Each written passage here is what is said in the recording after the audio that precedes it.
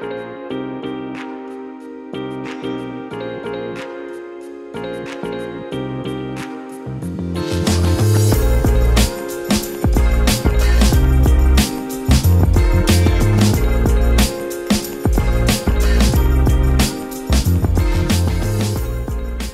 Welcome to the Luton Quarterly Updates. My name is Cam Sullings and today we're going to have a look at uh, quarters two and three for 2018 and then a look at buying and selling a property. All right, uh, well, let's get to uh, talking sales first up. Um, Craig, how's it been over the last two quarters?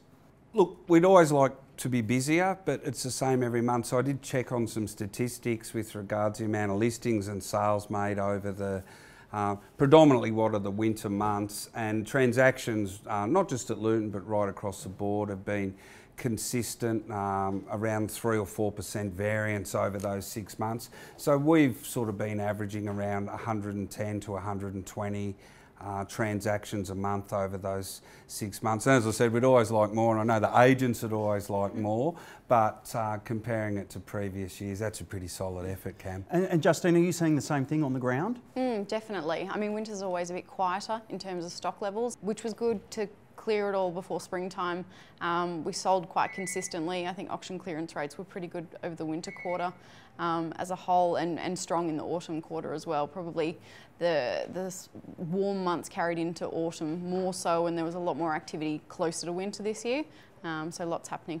Okay. Um, Ethan, in quarter two, uh, you all attended some training events and conferences? Yeah, so a lot of us from Luton Properties headed up to the Gold Coast for the um, Australian Real Estate Convention, uh, which was AREC up there, and there was a lot of good motivational speakers there and a lot of good information that we could take from that. And, and so what did you take away? What was the one key takeaway for you? I think it's definitely to stay hungry, um, but I think the key things to, to take away was a lot around prospecting and just really getting out there and doing the work and getting on the ground and meeting people and whatnot. Sure. Craig, were you there? No, would you believe, Cam, I wasn't? But I've been to seven in the last eight years. Right. so I'm glad you brought that up. Yeah. It was a pretty contentious point with Richard that right, I wasn't okay. there. But no, no, I was actually on holiday. But but so yeah, we had 36 agents go there, and I have had a look at a lot of the content that, that was to be presented. And I think Ethan makes a really relevant point. I think. Um, I think a lot of agents can get confused around what the industry is actually about, and it's it's very much a task industry, and um, there's, a, there's a lot of tasks, and some of them are fairly mundane tasks that require a bit of discipline, and particularly for someone that's newer to the industry, they've really got to uh, adhere to some tasks and have the discipline to turn up each day and do, and do the tasks. Sure, and as the digital age joins us so, do you see things changing? Totally. It's the way real estate is to how it was five years ago, totally different. Mm. And it's exciting. There's so many changes happening, and I think, um, I mean, we've really embraced it uh, as a, at Luton as a whole, um, and individual teams are really getting strong on it as well. And it's just the way of the future. It's the way that we're finding buyers, it's the way we're meeting sellers, it's the way we're prospecting and networking, and it's amazing. So let's move to uh, the third quarter and, and, and back to the all important sales. Um, through that period, how did it go? Yeah, once again, it's pretty consistent. So we we tend to like to do you know anywhere between 100 and 125 established house sales per month. We've stayed in that range. Um, you know what what I, what I have noticed is, and you know Justine and Tim and the team that they've formed at Weston, I am noticing that. Um, some of the agents are making a higher percentage of the sales, and they tend to be the ones that are embracing the technologies that you're talking about who are use, who are managing the relationship with potential sellers better through our CRM and just using the leverage that some of the social media platforms will give them to grow their business. So there's a real transition happening in the industry with regards agents who are getting on board this sort of technology versus maybe some of the agents that are tending to sort of stick their head in the sand and wish it would all go away, but it's not going to go away, Cam. No, it certainly won't. Ethan, how about you? You're bang in the centre of town and we see the construction and the, um, and the, the, the, units going in. Has it been busy across that third quarter for you in that space? Oh, most definitely, yeah. Like, like you said, exactly. There's been a lot of developments coming up in the area, um, a lot on um, Northbourne Avenue and, and, whatnot. And you know, with the upcoming light rail project, which is be soon into completion, um, that's obviously a good mindset in those um, areas for those apartments and those complexes and whatnot. Justine, um, the charity ball, uh, the famous annual Luton Yes. charity ball, and uh, this year was the, the neon theme. Yes. Um, I think I said on air on that Saturday, uh, Richard's outfit must have had an extension cord because he just must have lit up. Um, it- it's a Oh, wonderful fundraiser as well, but tell us about the night. It was fantastic. Um, we got to see Craig sing and dance, so it was a highlight. It was a really great night. I think everyone had a really good time. Um, the mood was really good. Huge success as always. Ethan, why do you think nights like that are important? For certainly, there's the charity angle, um, but for the organisation as a whole. I just think it's good for morale as well with, you know, Luton itself and, you know, just as a community. You know, it's a fun night for everyone. You know, like Justine did say, it goes to a great cause and whatnot as well. So it's just a fun night all around for everyone. It, it boosts that morale for everyone. Yeah, it certainly looked fantastic on, on social platforms. Um, Craig, tell us a little bit about List Shore. Okay, so List Shore's a new innovation that um, we've introduced to the market here in Canberra, and it's- it, it, it is a Luton branded product, which is essentially backed by Macquarie Bank and some partners of theirs, where we're in a position to um, offer the advertising and marketing component to our vendors at uh, at either in sometimes no upfront cost or sometimes maybe 20% of that initial investment. So one of the big um, one of the big issues the industry's faced in the past is the uh, marketing component that agents are sort of talking to vendors about and the sort of investment they're looking at making. And um, more often than not, that was a component that was required to be paid up front. But through this unique offering, we now have an ability to basically um, to basically, in a lot of the instances, say get a 20% commitment from the vendor. And if the property was not to sell during the marketing period, we're then in a position to be able to not have to get any further of those monies from the vendor. So it's basically putting us in a position where we're becoming a partner in the marketing investment. And if we're not able to get a result that our vendors are absolutely thrilled with, uh, we're then not going back and asking for the balance of the funds that would have been due uh, prior to us introducing this new product. And, and it's working. yeah, so so far we've had it in play, Justine. Um, I think five or six weeks. Yeah, around about. Yeah, and I was looking at some um, figures last week, and about two thirds of our vendors are taking up the opportunity to have us as a partner in that marketing venture. And what we are also seeing too is because of the fact that we're sharing some of the risk, that um, our our vendors are willing to invest more in marketing which is improving their chances uh, of getting a better result, and we're able to do a better marketing job. And once again, if we can't get a result they're happy with, they're not having to commit anymore. So it's a real win-win uh, proposition, which is a unique product that uh, we're we're really glad to be part of. All right, so there's quarters uh, two and three. Let's now have a look at uh, buying and selling and the actual process. Um, Justine, we'll come to you first. Um, the advantages or disadvantages of an open home. So, got to have open homes. it's very hard to get buyers to commit, fall in love, want to put an offer on a property or bid at auction if they're not going through the home. So, we have to make it as easy as possible for buyers to come along, see it, commit to it, and the easiest way to do that is hold open homes. So in our in our team we hold auction campaigns, one on a Saturday, one during the week. We're making the home available to them. We're making it as easy as possible for them to come along. And, and so you balance that up though against um, what's happening with digital and the Yes. virtual tours, and we're getting the drone flyovers, and you can you can log on and change the colour of your walls and move Yes. furniture around. So how does that marry with that? So, I mean, we do sell quite a few properties to people who literally never come through. They might send family through as representatives, but um, people can buy purely off photos, virtual tours, videos, floor plans, all that sort of thing. But the whole idea is to show them as much as possible so that they decide, yes, I want to go and look at that property on Saturday.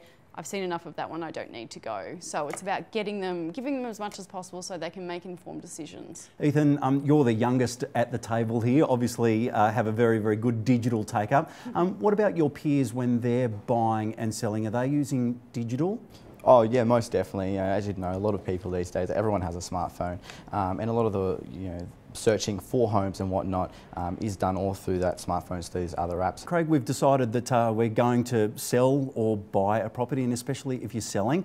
Um, for you, you've been around for a long time in the real estate business. What are the, very respectfully, um, what are some of the tips to improve a, a home's appeal? I think one of the um, first things you need to do is pick the agent that you're going to be working with and get an involvement with them uh, as early as you can in the lead into putting the property on the market. So I know, for instance, someone like Justine or Tim with their experience, if they're able to be talking to you four, five, six weeks mm. before the property is going to go on the market, they're going to be well before that and even well before yeah. that because yeah. I know with the pipeline you guys yeah. run you're working with some people that are six months oh, 12 easily. months away from yep. selling because there's definitely and it does change from property to property uh, owner to owner and uh, also the region that you're in, there are definitely some things that are worth doing with regards presenting a property with regards to capital return on the outlay that you're going to make. And there are some things that probably aren't the best thing to do. So my number one piece of advice would be is align yourself with an agent that you're comfortable with and that you trust's got a great track record and sit down with them and talk about the sort of things and plan a timeline, get the old task list. I'm a big favourite for some old school stuff like a, a whiteboard on the fridge, yes. some magnets, work through the jobs, tick them off, get some buy-in from the family. Everyone's got to play a role in getting the house ready, Cam. Justine, um, we hear the term staging um, thrown around yeah. now. Are, are you a fan of staging? Very much so, yeah. Very, very rarely would we sell a property empty if it is a vacant property. Um, occasionally you'll have one that might be totally original and people, you need to see it for what it is and you know, that's for its potential. But probably 95% of the time is if the home is vacant, we're putting furniture in and that's to just help people envisage living there, the lifestyle on offer. It makes it so much easier if, if they're like, okay, that's where the bed would go. Great, our couch would go there. I can imagine entertaining outside in the warmer months at the table that yeah. sort of stuff.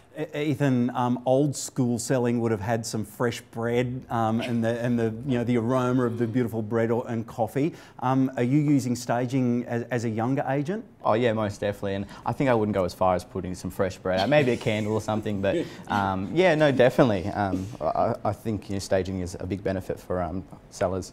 All right, and of course, when it comes time, and it is one of the most stressful um, events of someone's life, is is moving from you know house to house, or you know suburb to suburb, or indeed you know around the country or internationally. Um, what's the number one moving tip for you, Craig? Um, start early. Yeah. yeah. So it's like having moved. I think I've moved four uh, four times myself to these family homes, and you can never start early enough. And some of that I know Justine would probably agree can be even before you're getting on the market with the decluttering mm. process. So that's a great opportunity to be moving a yes. lot of stuff. Yep. You know, maybe reclaiming the garage. Correct. So throw you know, it out, so then you, you can don't put cars in the garage. Yeah, yeah. or guys could walk yes, out and actually yeah. go into the garage. That's so right. The process of moving can start before you actually sell. And, and Justine, for me, I've done a lot of moving around Australia as well. Um, it is going and buying um, proper moving cartons or yes. the proper cardboard boxes. Yep loads of butcher's paper oh, yep. um, and being organised. You must really have is. that list. And yeah. I mean, we're lucky these days you can go online and just Google tips of moving the house oh, and you'll fantastic. get a hundred. So uh, exactly. organisation surely must be a big yes. one. Yes, oh definitely. And I mean, you don't want to just throw everything into a box because when you get to the other end and you're exhausted, you then have to take everything out and half the things are broken. And it's about being organised, do it in a methodical way. I love a checklist. Work, do room by room, work yep. out what you don't need for the next three months, pack that up, put it in storage, yep. do whatever you need to do. But yep. yeah, as Craig says, start early. So what should we stay away from in the whole you know, buying and selling process? What are the what are the dangers, do you think? It's really good to do research as a buyer before you are ready to buy, um, to see what properties are going for in the area, if there are a lot of people attending the open homes, you know, if there's one registered bidder at auctions or if there's 10, so you get a feel feel for how much competition there is in the area, how many people are wanting to get in. I mean, you can even sort of study the market trends in the area you want to be in and make decisions based off that. But um, it comes down to when you need to buy. Some people have to buy at a certain time, and you just go with, you know, you find a place you love. We always say, go hard. Yeah. You know, you don't want to miss out. To wrap things up today, um, let's go round the table. What's exciting you about the next quarter, leading into other than the nice warmer days? Um, yeah, yeah, So, so what's really exciting me this week is we're starting 38 new listings, I think, with 23 auctions. So we're getting into a great time of the year uh, where we're really busy on the weekends. The buyers are going to have the best selection of properties available in the year. That's going to lead to a higher volume of transactions for our sales team, so everyone's going to be happy. So it's just absolutely the best time of the year to be in real estate, Cam. Yeah, great. And how about you, Justine? Just excited about spring in general. I mean, it's been a quieter winter in terms in terms of stock levels. So even just the mood in the office, it's different. As it starts to get warmer, everyone gets busier. It's just a different feeling, and and we're all really excited for a really strong spring and then a lead up to Christmas yeah. as well. And auction time, Ethan, must be on Saturday mornings when the weather is warmer and there's more of a more of a buzz, surely. Oh, most definitely. Yeah, the whole environment just changes and the whole atmosphere at auctions will change. Um, you know, weather does play a big role in you know, your attendance and, and, things like that. So, yeah. All right. Well, thank you so much for joining us, uh, Craig, Justine, and Ethan. Thank you. Thanks, All right. And that is uh, the Luton Quarterly Update. We hope you can join us next time.